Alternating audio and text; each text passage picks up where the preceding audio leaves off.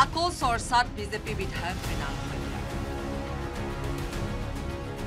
নিজ দলৰ বিৰুদ্ধে সমালোচনা কৰি সতীৰ্থৰ ৰোষত পৰা মৃণাল শইকীয়াই এইবাৰ কি কৰিলে কতো মন্তব্যৰে নহয় বৰং বিজয়ীক অভিনন্দন জনাই এইবাৰ সমালোচনাৰ পাত্ৰ হ'ল মৃণাল শইকীয়া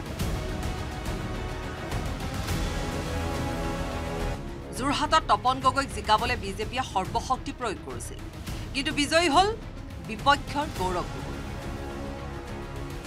আৰু সেই বিপক্ষ নেতাকে জয়ৰ বাবে অভিনন্দন জনালে মৃণাল শইকীয়াই। এক্স যোগে গৌৰৱ গগৈক অভিনন্দন জনাই মৃণাল শইকীয়াই লিখিলে ধন ডাঙৰ প্ৰচাৰ দৰ্প ভৰা ভাষণে নিৰ্বাচনত সহায় নকৰে।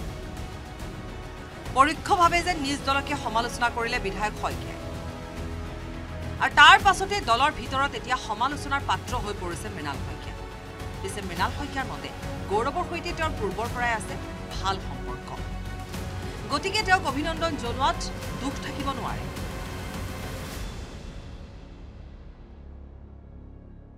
জিকিলে বুলিয়ে তেখেতকতো এইটো দিয়াটো মোৰ এটা কাৰ্চি হয় এটা সৌজন্যতামূলক এটাতো দিবই লাগিব।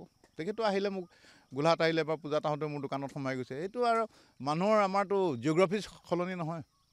আমাৰ আইডিঅ'লজি বেলেগ বেলেগ হ'ব পাৰোঁ। সকলো দেখি শুনি মুখ্যমন্ত্ৰী হিমন্ত বিশ্ব শৰ্মায়ো মৃণাল শইকীয়াক কটাক্ষ কৰি ক'লে হয়তো তেওঁ বিজেপিত বেছিদিন নাথাকে চাওক মৃণাল শইকীয়াই নৰেন্দ্ৰ মোদী ডাঙৰীয়াক অভিনন্দন জনোৱা নাই তেওঁ কংগ্ৰেছৰ বিজয়ী প্ৰাৰ্থী এজনক অভিনন্দন জনাইছে তাৰ পৰা মোৰ ধাৰণা হয় যে মৃণাল শইকীয়া হয়তো বহুদিন বিজেপিত নাথাকিব মুখ্যমন্ত্ৰীৰ প্ৰতিক্ৰিয়াক লৈও প্ৰতিক্ৰিয়া দিলে মৃণাল শইকীয়া শইকীয়াৰ মতে মুখ্যমন্ত্ৰীক আগুৰি থকাসকলে ভুলকৈ উচতনি দিয়াৰ বাবেই তেনে মন্তব্য কৰিছে সেইটো তেওঁ কিবা এটা ভুল বুজিছে। কাৰণ আমাৰ পৰম্পৰা আছে যে শত্ৰু পক্ষৰ হ'লেও আজি মোৰ শত্ৰু ছোৱালী এজনী ভালকৈ পাছ কৰিছে। আমিতো হেৰি কৰিবলৈ যাওঁ এটা কংগ্ৰেচুলেশ্যন দিওঁ। আৰু বিৰোধী পাৰ্টি হৈ উঠিব পাৰোঁ। কিন্তু আমিতো বাটে পথে তেতিয়া লগ পাওঁ। লগ পাই কথা পাতোঁ। আজিৰ দিনা তেতিয়া এটা বৰ বেয়া পৰিৱেশ এটা নাছিল যে কোনোবা মোৰ বিৰুদ্ধে উঠিলেই সেইজন শত্ৰু হৈ গ'ল।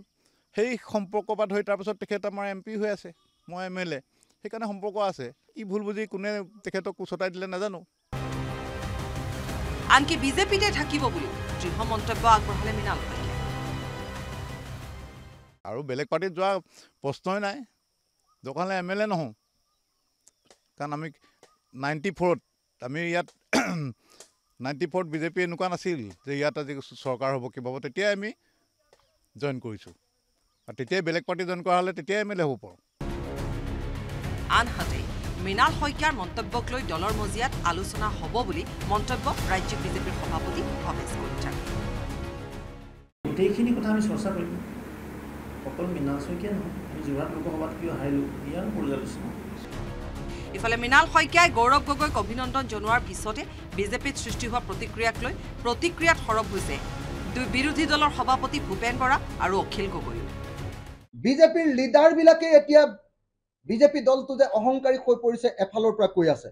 কালি মৃণাল শইকীয়া ডাঙৰীয়া বিধায়ক তেখেতে স্পষ্টভাৱে বিজেপি কিমান অহংকাৰী হৈ পৰিছে সেই কথা কৈছে। Bureau' report news eighteen Assam north